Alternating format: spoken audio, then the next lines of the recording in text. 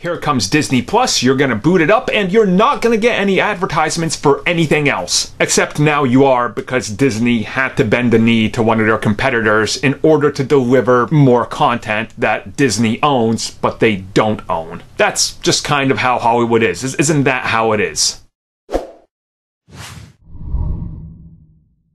Okay, so what's happening? So I will link it in the description down below. This one is coming from The Verge. I'm not sure if they were the first ones to report it or if this is just the first one I saw, but essentially Disney had to cave, and specifically this is for Star Wars, but there's more stuff that's out there for some of the other franchises, but mostly they had to cave for Star Wars because if you want the entire Star Wars catalog on Disney Plus, you weren't going to get it on day one. That wasn't going to happen. And um, why is this? Well, if you follow along and you read that article, you're going to realize that Starz had exclusive streaming rights to certain Star Wars films. Now, these things were in motion for years now. There's certain things that have been in motion for like 10 years, and certain things weren't going to expire for Star Wars till 2024, and some are even reportedly expiring later. So, how did Disney decide to proceed? Well, they reached out to Starz and they were able to sit down and work out an agreement. So on Disney Plus, you will see advertisements that are telling you to check out Starz. Now, some people have already kind of um, overblown this. You're never going to be watching a movie and then an advertisement pops up in the middle saying, watch Starz now, click this button to subscribe. That's not what's happening. Uh, what they're doing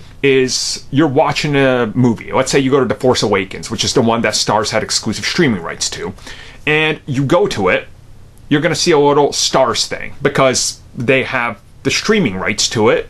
But due to this deal, Disney's now going to advertise Starz on there for a certain duration of time so they can provide that movie on their service. And again, this is just something that's kind of common. It happens. Uh, there's a lot of contracts out there that are very weird, and this is how they've been, um, you know, like assigned. And a lot of these things were in motion before streaming services were even a idea at some of these companies like Disney, for example, right? And if they knew that they were going to be doing Disney Plus like six years ago, eh, hell, even like four years ago, they would not have done this. But they didn't have that foresight and they didn't see how it was going to go. So that's kind of where we're at right now. And honestly, it's not much that's lost. I mean, you're going to get a small little, you know, banner on the side of a screen that tells you. So it's pretty good, all things considered, that you'll be able to boot up Disney Plus and watch everything Star Wars. Yes, including Solo.